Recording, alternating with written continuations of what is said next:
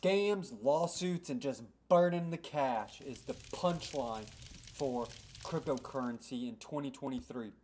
Before we get into all that hot and juicy mess, let's go ahead and jump over to CoinMarketCap and we're going to hop, hop and see what, what really happened with ETH today. So we got Bitcoin at up.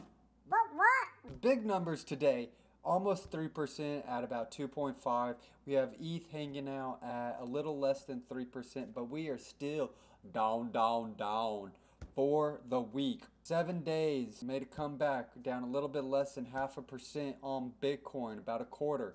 Then we have ethereum just getting that knockout due to the hinman papers at 6.6 baby! That is not good but we got a little rally going on today. Maybe some of these articles we go over in the next couple minutes will will give us a little insight into into what's happening there. Coin market cap, good to see we got Pepe. Yeah, my buddy Pepe, the frog, leading at 7.5%. So let's jump over to the charts real quick, see what's happening.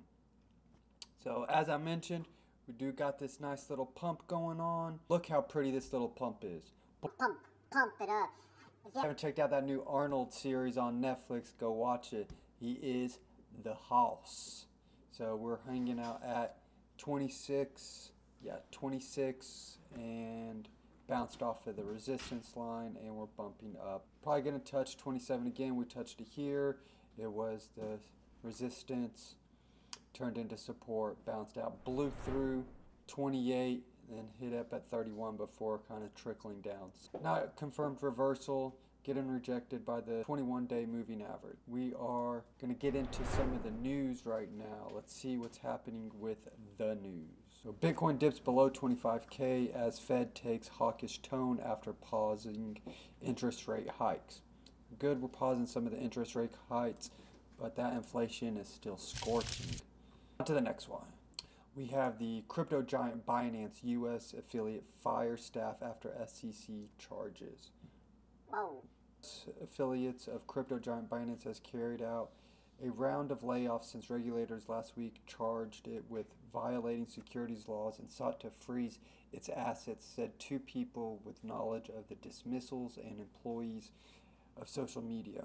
So Binance is clearing house. Hey, if you're cooking those books, you better get that chef out the kitchen, right? And the last one on the radar for today got them hackers attacking cryptocurrency. Ransom hackers and scammers utilizing cloud mining to launder cryptocurrency. Ransomware actors and cryptocurrency scammers have joined nation state actors in abusing cloud mining services to launder digital assets and new finding reveals. I don't think this is anything revealing. We all know there's scammers in cryptocurrency. This one, whoa, shocker, out of North Korea. Didn't see that coming. They never hack US or mining or cryptocurrency. Like, they are, yeah, come on. That's ridiculous. Of course, that's what they do. That's their economy, right? this includes 19.9 million from four ransomware wallet addresses and 14.1 million from three mining pools, with a significant chunk of the fund routed via a network intermittently wallets and pools. Scammers be scamming, right? That's the cryptocurrency in a nutshell for today. That's all I got for you. Until next time, as always, I'm Ric Crypto. Bye.